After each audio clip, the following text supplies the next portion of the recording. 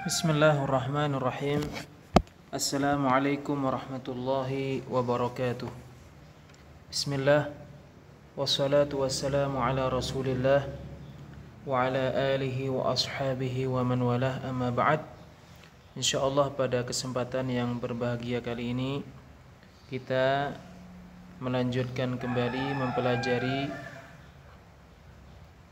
Pelajaran tafsir Yang kita akan mengulangi sekali lagi pada pelajaran yang ke-10 Ad-Darsul Ashir Hukukul Jiran. Pelajaran ke-10 Hak-hak tetangga.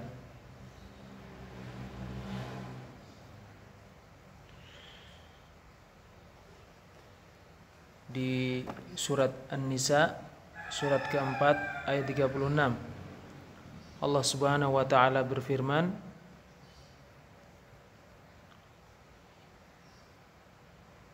Wa'budullaha wa la tusyriku bihi syai'a. Dan beribadahlah kepada Allah dan jangan menyekutukannya dengan sesuatu pun. Wabil walidaini ihsana. Dan berbuat baiklah kepada kedua orang tua وبذي القربى واليتامى والمساكين berbuat baiklah kepada kerabat dekat anak-anak yatim orang-orang miskin wal jaridil qurba wal jaril junubi tetangga yang kerabat dan tetangga yang bukan kerabat وصاحب بالجنب وابن السبيل وما ملكت أيمانكم teman sejawat ibnu sabil dan apa yang kalian miliki Inna Allah la yuhibbu man kana mukhtalan fakhura Sesungguhnya Allah tidak mencintai orang yang sombong lagi membanggakan diri. Allah Subhanahu wa taala syarhul kalimat penjelasan kata-kata Allah berfirman u'budullaha. U'budullaha. Beribadahlah kepada Allah. Al-khitabu lil mu'minina perkataan Allah firman Allah u'budullaha beribadahlah kepada Allah. Ditujukan kepada orang-orang mukmin.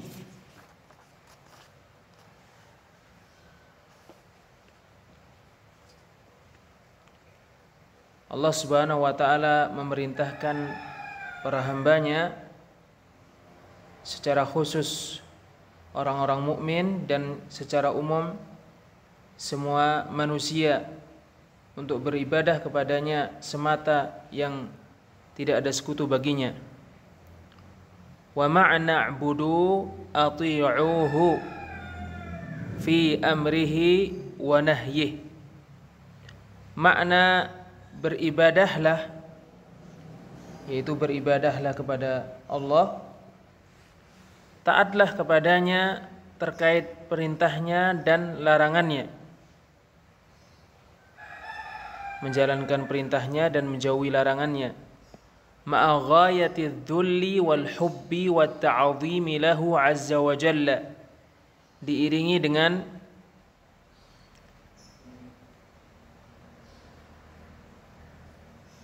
puncak kehinaan diri puncak kecintaan dan puncak mengagungkannya azza wa jalla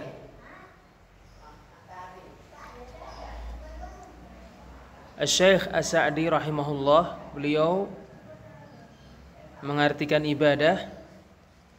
Kata beliau wa huwa ad-dukhulu tahta riqqi ubudiyyatihi ibadah kepada Allah adalah masuk pada perbudakan karena beribadah kepada Allah. Walinqiyadi li awamirihi wa nawahi. Dan karena tunduk kepada perintah-perintahnya dan tunduk kepada perintah-perintahnya dengan cara menjalankan larang menjalankan perintah-perintahnya dan menjauhi larangan-larangannya mahabbatan wa dhullan wa ikhlasan lah dengan cinta penghinaan diri dan mengikhlaskan peribadahan itu hanya untuknya. Allah Subhanahu wa taala memerintahkan hambanya untuk beribadah. Wa'budullaha dan beribadahlah kepada Allah. Yaitu arti ibadah adalah taatlah kepada Allah. Jalankanlah perintahnya dan jauhilah larangannya. Beribadahlah kepada Allah yaitu jadikanlah dirimu jadikanlah diri-diri kalian hamba-hamba Allah. Tunduklah kalian kepada perintah-perintah Allah. Jalankanlah perintah-perintah Allah dan jauhilah larangan-larangan Allah dengan cinta penghinaan diri dan ikhlas serta pengagungan. Allah berfirman la tusyriku bihi syai'a wa la tusyriku bihi syai'a. Dan janganlah menyekutukannya dengan sesuatu pun. Ay la ta'budu ma'ahu ghairah yaitu jangan kalian beribadah kepada selain Allah selain kalian beribadah kepada Allah. Ya, syirik ya, janganlah kalian menyekutukannya dengan sesuatu pun. Menyekutukan Allah artinya adalah beribadah kepada Allah dan kepada selain Allah. Bi ayyi naw'in min anwa'il ibadat. Dengan macam di antara macam-macam ibadah. Allati ta'budallaha ta'ala biha ta'abbadallaha ta'ala biha ibaduhu. Yang mana hamba-hamba Allah beribadah kepada Allah dengannya min du'ain wa khasyatin wa dhabhin wa nadrin wa di antaranya adalah doa takut dengan mengagungkan, menyembelih, bernadar, rukuk, sujud dan selainnya.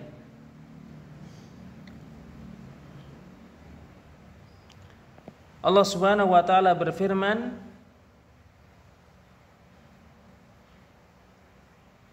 wa bidzil qurba wa bidzil qurba dan berbuat baiklah kepada dzil qurba Dzil qurba artinya adalah ashabul qarabat.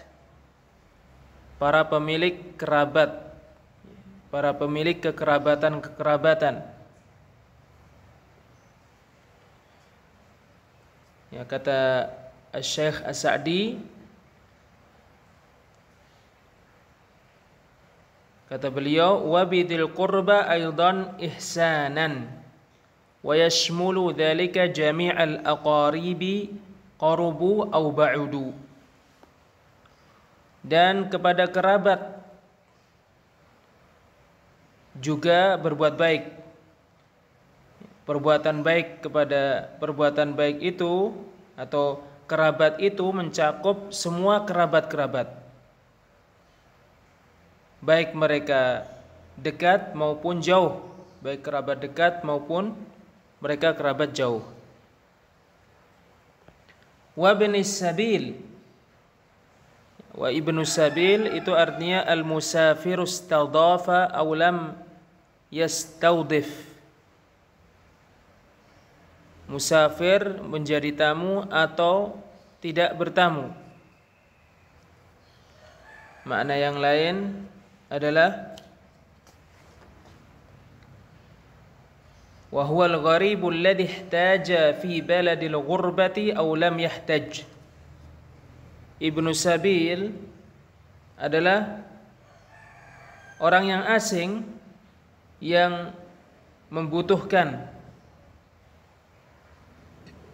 ketika dia di negeri asing atau dia tidak membutuhkan orang yang berada di negeri asing itu disebut ibnu sabil. Atau orang yang safar. Dia menjadi tamu atau tidak menjadi tamu. Wallahu alam bisawab insyaallah kita lanjutkan pada bagian kedua.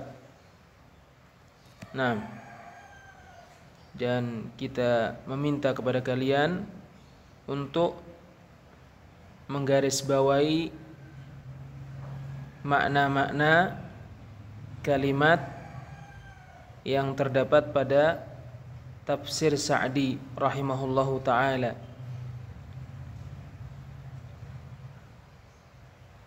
Yang tadi kita sebutkan.